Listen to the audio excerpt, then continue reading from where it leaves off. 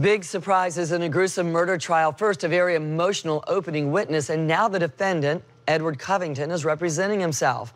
News Channel's Jeff Patterson has been in the Hillsborough County courtroom all day. Tell us what you know, Jeff. Good evening, Gail. Strange day here at the Hillsborough County Courthouse. First, Edward Covington fired his defense team. Then he told the judge that he is guilty and that he expects the death penalty.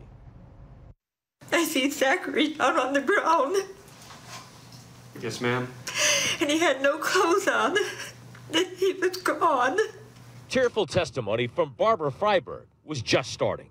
The jury then heard the emotional 911 call as Barbara first reported the bloody scene where she and her husband found their grandson, granddaughter, and daughter all murdered. It all came to a halt. Edward Covington was becoming increasingly agitated.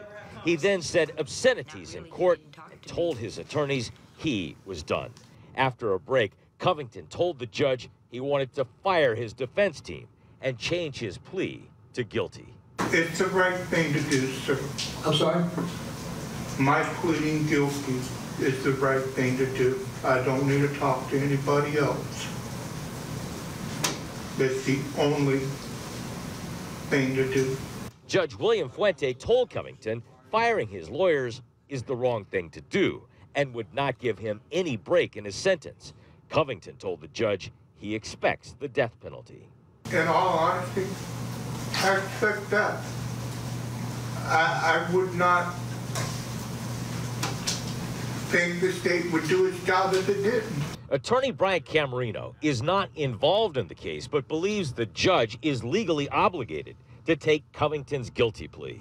The Supreme Court has said that he does have the right to represent himself. So that's the, the main problem. So ultimately, the judge is going to have to grant his, his desire, his wish.